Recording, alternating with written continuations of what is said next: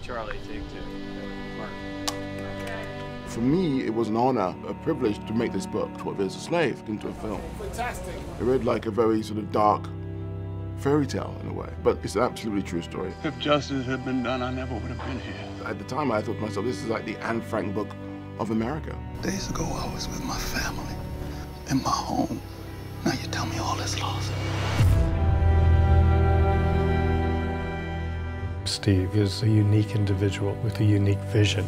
The whole scene's been about him from time one. He comes from the world of art where there are no limitations. It's all about truth and bravery. He comes into feature filmmaking with none of the conventions and none of the restrictions that a lot of filmmakers feel imposed upon them. Steve both knows exactly the kinds of things that he wants, but at the same time is not beholden to any one idea or any one thought or any one particular way to do things. He has an absolutely open mind and is totally fearless when it comes to ideas, particularly visual ideas. Steve had a very clear vision about how certain things were supposed to be, and there were certain emotional elements that he knew he wanted. I wanted to tell a story about slavery. My ancestors were slaves. Um, they're from the Caribbean, and I wanted to find an interesting angle into the narrative. I like the idea of it starting with someone who is a free man, dragged into slavery via kidnapping. My name is Solomon Northup. I'm a free man. He has such faith in the narrative and the characters and in human behavior and such faith in the fireworks that just come out of real life. There's an authenticity to that, which is fantastic. And I think it, it not only informs you know, the cinematography, but also the actors as well. Just looking at the dailies, every frame, you're just like, you know, you can't believe it. The shots that Steve puts together with Sean, it really is like a painting. Steve McQueen is such an incredible artist.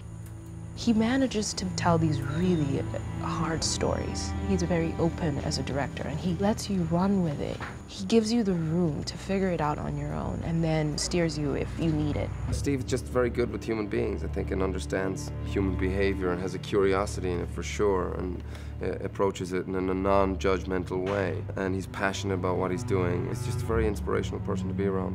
What you enjoy in an audience, you enjoy as an actor as well because there's a real purity of purpose between the performance space and the cameras. It really brings you into the moment. And that's what Steve's trying to capture. And often he allows things to breathe. It doesn't mean to say that it's ever slow, because it's not. There's a tension, which is very, very carefully managed. And there are many uh, examples where a shot is held long, and I believe it just gives the audience time to really feel things. I think shooting it that way, pointing out the complicity of the people around the situation he charges you with complicity as well. Bear witness, for real. He doesn't want you to forget him. Working with somebody that I admire so hugely was a treat. The whole thing has just felt like a kind of projected fantasy, you know, like I dreamed that I worked with Steve and made this film. It was a really great experience. This is not an African-American film, this is an American story. And slavery is a part of the history of America. Well, I was a free man. I'm not a slave. I don't want to survive. I want to live.